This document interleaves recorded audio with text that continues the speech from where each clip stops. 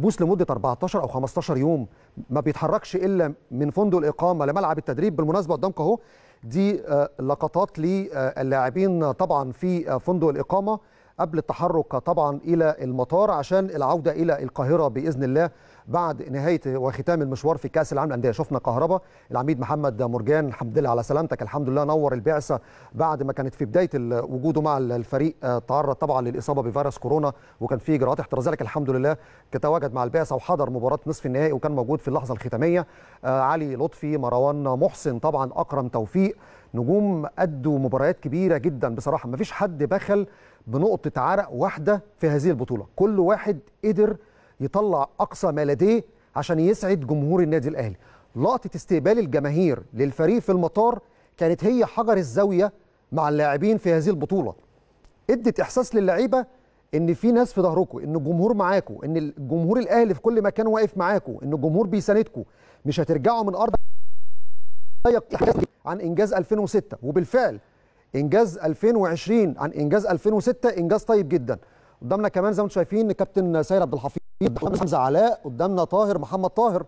طاهر محمد طاهر في أول حدث مع الفريق وأول بطولة برونزية.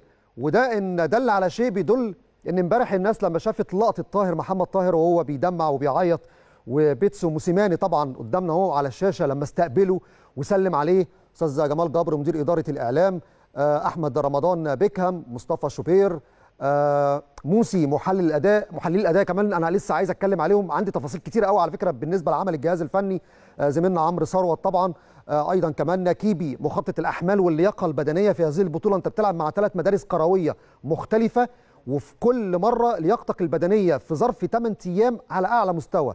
بنتكلم كمان الأستاذ طارق انديل الاستاذ محمود عدلي كابتن ماهر عبد العزيز المدير الإداري واللي كان قايم بدور مهم جدا يعني نفس دور الحكم الرابع في المباريات بيرفع لوحة التغييرات. ده يا جماعة تعديل تم من خلال بروتوكول الآيفاب بسبب جائحة الكورونا عشان موضوع التلامس بالنسبة لتعامل الأجهزة الفنية مع الحكام. الإداري اللي موجود على الدكة هو اللي بيقوم بعمليات التغييرات بالنسبة لكل فريق.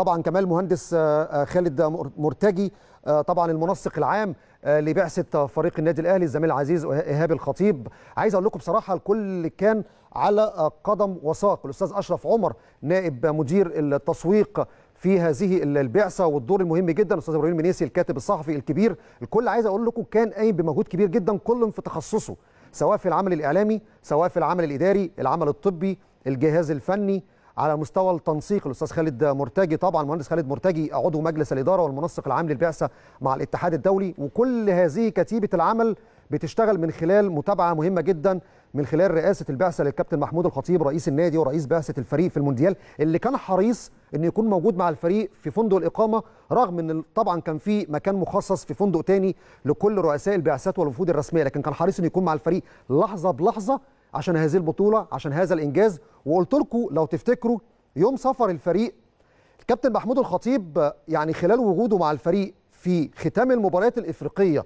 في دوري الأبطال الماضي كان ليه دور رئيسي وكبير جدا مع اللاعبين. لأن فيما معناه كان بيقول لهم بنفس الكلمة وبنفس المعنى كلنا في مركب واحد كلنا رايحين لهدف واحد. أنت مش موجود لوحدك إحنا موجودين كلنا في ظهرك الإدارة بتدعمك والجمهور معاك وكلنا موجودين معاك. عشان في النهاية تسعدنا كلنا وتحقق بطولة. وده حصل. شفناه في ماتش سان داونز شفناه في ماتش الهلال. شفناه حتى في مباراة الوداد. شفناه في النهائي. كابتن محمود الخطيب كان مع البعثة ومع الفريق في المعسكر المغلق قبل مباراة النهائي مع الزمالك في كأس العالم للأندية.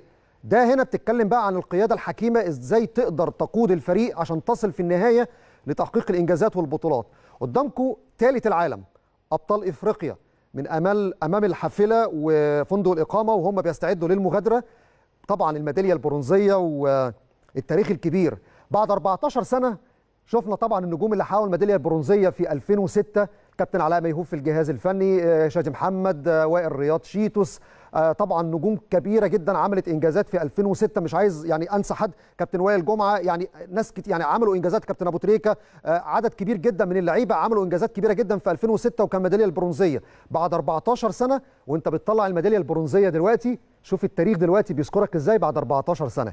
الجيل ده النهارده وهو بيحقق البرونزية عارف إن أجيال أخرى بعد 10 أو 20 سنة بإذن الله لما تيجي تلعب في بطولة كبيرة زي كأس عالم أندية أنا وأنا محقق البطولة سنة 2020 أو بطولة 2020 طبعا في بداية 2021 أقدر أطلع الميدالية عشان أقول أنا فزت بكأس عالم أندية. الاتحاد الدولي بالأمس سلم كل لاعب في الفرقة وكل فرد في البعثة شهادة المشاركة في هذا الحدث الكبير وميدالية استثنائية في مشاركة كأس العالم للأندية. الحافلة قدامكم وهذه اللقطات الحصرية والتغطية الخاصة النهارده على مدار اليوم من خلال شاشة قناة الأهلي. هتكون معاكم لحظة بلحظة عشان كل الكواليس وكل اللقطات الخاصة بالفريق.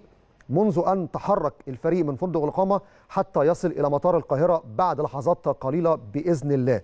طاهر محمد طاهر أحد لاعبي خط الوسط اللي ظهر بشكل جيد خلال الفترة الأخيرة وبيعتمد عليه المدير الفني الجنوب إفريقي بيتسو موسيماني بشكل رائع جدا في المباريات.